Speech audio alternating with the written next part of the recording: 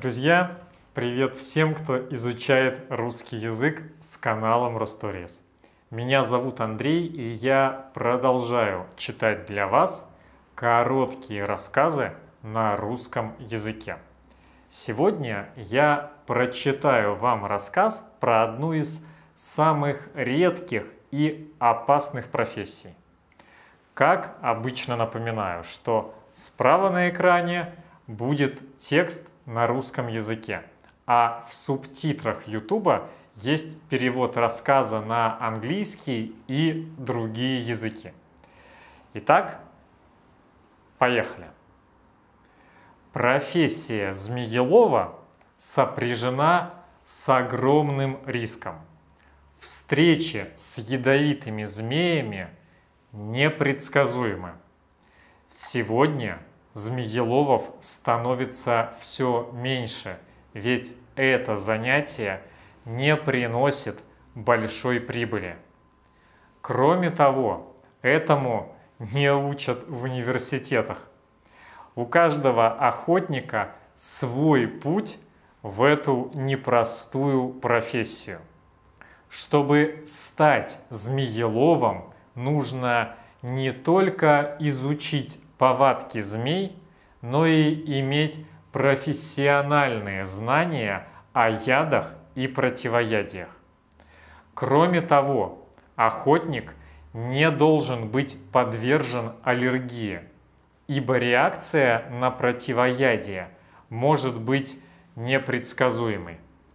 Наконец, ловцу необходимы ловкость и бдительность, чтобы в любой момент увернуться от броска змей. Как свести к минимуму смертельный риск? Многие змееловы делают себе инъекции яда, начиная с малой дозы и постепенно увеличивая ее. Таким образом, у них вырабатывается иммунитет. Надо сказать, что подобные инъекции крайне болезненны.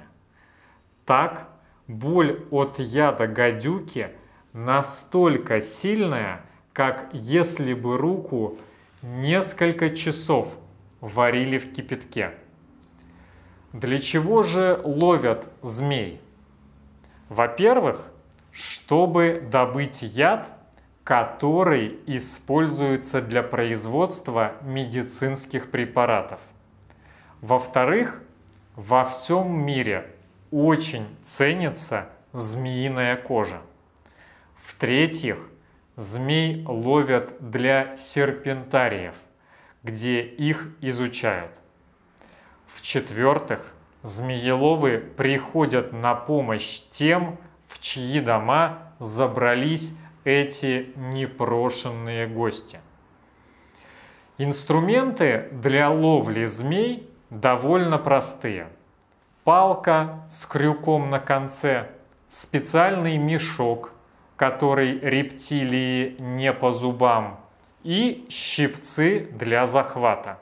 И, конечно же, резиновые сапоги и перчатки.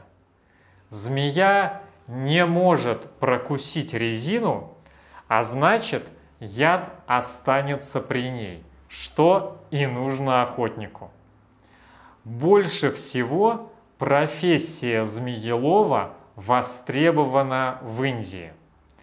Здесь преимущественно охотятся на кобру, и брать ее надо только живой. Убить эту рептилию считается святотатством. По преданию, бог Вишну любил отдыхать на ложе из кобр, свившихся в кольцо. А значит, тот, кто убивает кобру, разрушает основы Вселенной.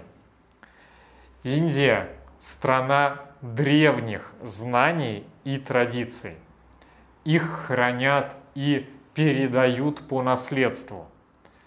И умение ловить змей и исцеляться от ядовитых укусов тут не исключение. Например, в Индии есть деревушка Малар-Банд. В ней живут потомственные змееловы и заклинатели змей, которые ежедневно рискуют жизнью. При ловле рептилий здесь используют собак. Пес находит нору, а змеелов льет в нее воду или разрывает лопатой. Растревоженная кобра обязательно выползет наружу. Живет за счет ловли очковых кобр и сбора их яда и индийское племя Ирула. Навыками змееловства в племени владеют все, и взрослые, и дети. Мальчики, которым всего 8 лет, охотятся на небольших, неядовитых змей, а в возрасте 12 лет допускаются и к охоте на кобр. У племени есть разделение труда. Дети разрывают норы – Женщины следят, чтобы змея не выползла через запасной выход, а мужчины ловят. Ежедневно каждая семья добывает около 15 кобр. Поймав рептилию, ее сдают в специальный кооператив. Там змею помещают в глиняный сосуд – и каждую неделю добывают у нее яд. Для этого ее принуждают укусить ткань, натянутую поверх стакана. Сквозь нее яд просачивается в емкость. За одну такую процедуру добывается несколько миллиграммов яда, который продают производителем медицинских препаратов.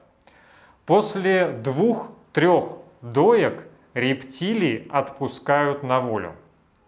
В России профессия змеелова постепенно исчезает. И это неудивительно. Из десятка серпентариев, существовавших в Советском Союзе, остался один – в городе Новосибирске.